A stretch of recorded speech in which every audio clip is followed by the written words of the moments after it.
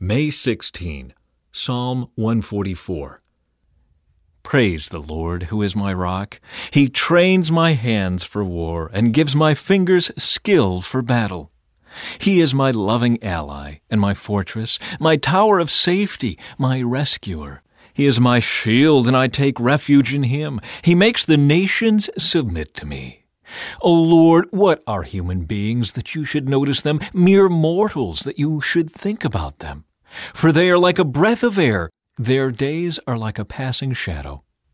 Open the heavens, Lord, and come down. Touch the mountains so they billow smoke. Hurl your lightning bolts and scatter your enemies. Shoot your arrows and confuse them. Reach down from heaven and rescue me. Rescue me from deep waters, from the power of my enemies. Their mouths are full of lies. They swear to tell the truth, but they lie instead. I will sing a new song to you, O God. I will sing your praises with a ten stringed harp. For you grant victory to kings. You rescued your servant David from the fatal sword.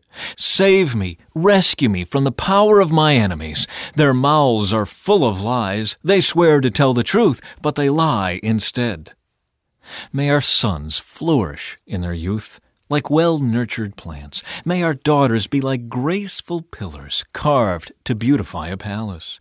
May our barns be filled with crops of every kind. May the flocks in our fields multiply by the thousands, even tens of thousands, and may our oxen be loaded down with produce.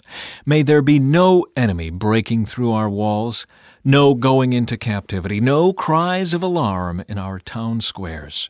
Yes, joyful are those who live like this. Joyful indeed are those whose God is the Lord.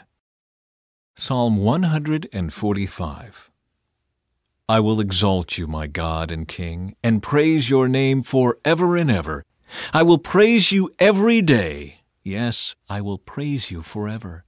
Great is the Lord, he is most worthy of praise. No one can measure his greatness. Let each generation tell its children of your mighty acts. Let them proclaim your power.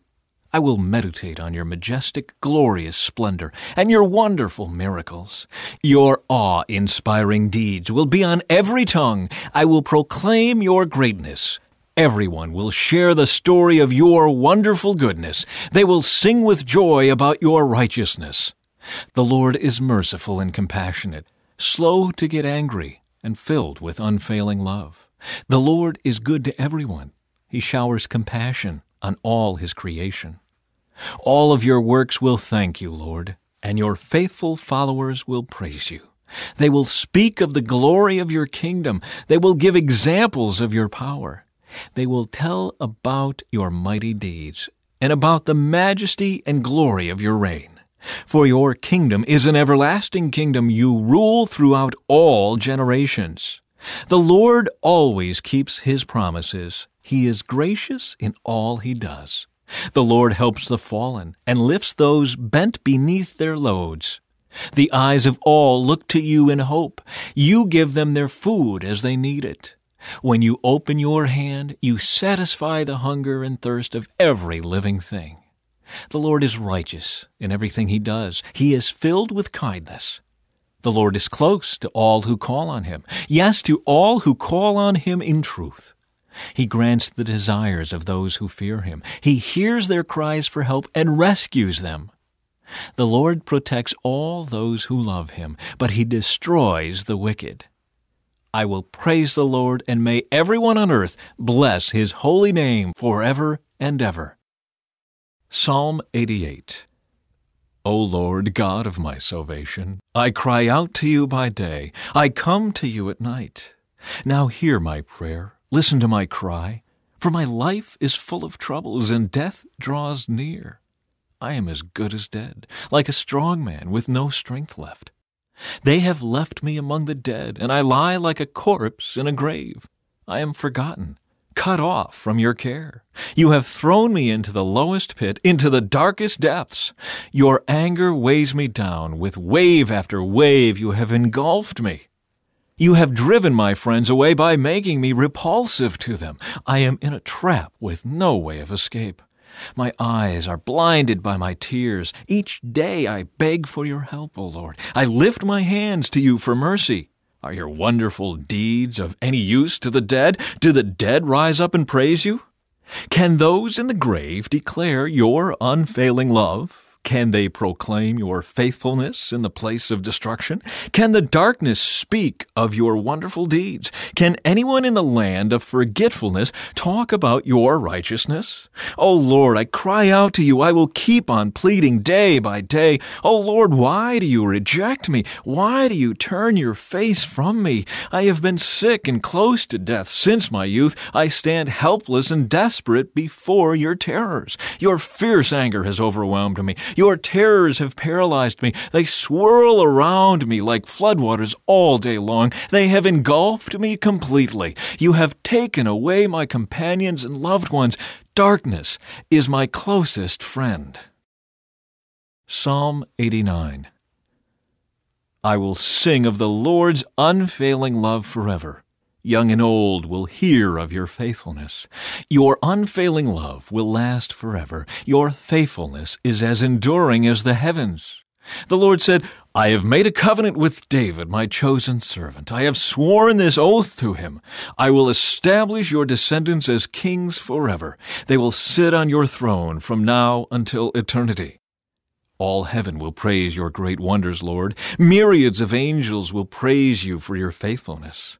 For who in all of heaven can compare with the Lord? What mightiest angel is anything like the Lord? The highest angelic powers stand in awe of God. He is far more awesome than all who surround his throne. O Lord, God of heaven's armies, where is there anyone as mighty as you, O Lord? You are entirely faithful. You rule the oceans. You subdue their storm tossed waves. You crushed the great sea monster. You scattered your enemies with your mighty arm. The heavens are yours, and the earth is yours. Everything in the world is yours. You created it all. You created north and south. Mount Tabor and Mount Hermon praise your name. Powerful is your arm, strong is your hand. Your right hand is lifted high in glorious strength. Righteousness and justice are the foundation of your throne. Unfailing love and truth walk before you as attendants. Happy are those who hear the joyful call to worship, for they will walk in the light of your presence, Lord. They rejoice all day long in your wonderful reputation. They exult in your righteousness. You are their glorious strength. It pleases you to make us strong.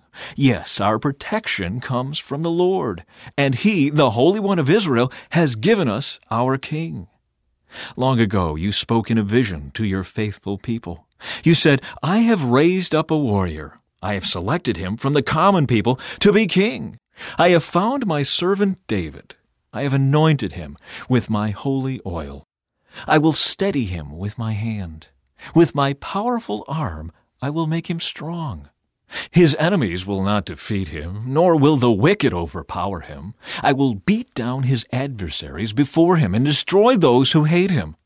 My faithfulness and unfailing love will be with him, and by my authority he will grow in power. I will extend his rule over the sea, his dominion over the rivers. And he will call out to me, You are my Father, my God, and the rock of my salvation. I will make him my firstborn son, the mightiest king on earth. I will love him and be kind to him forever. My covenant with him will never end. I will preserve an heir for him. His throne will be as endless as the days of heaven. But if his descendants forsake my instructions and fail to obey my regulations, if they do not obey my decrees and fail to keep my commands, then I will punish their sin with the rod, and their disobedience with beating. But I will never stop loving him, nor fail to keep my promise to him. No, I will not break my covenant. I will not take back a single word I said. I have sworn an oath to David, and in my holiness I cannot lie. His dynasty will go on forever. His kingdom will endure as the sun. It will be as eternal as the moon, my faithful witness in the sky. But now you have rejected him and cast him off. You are angry with your anointed king.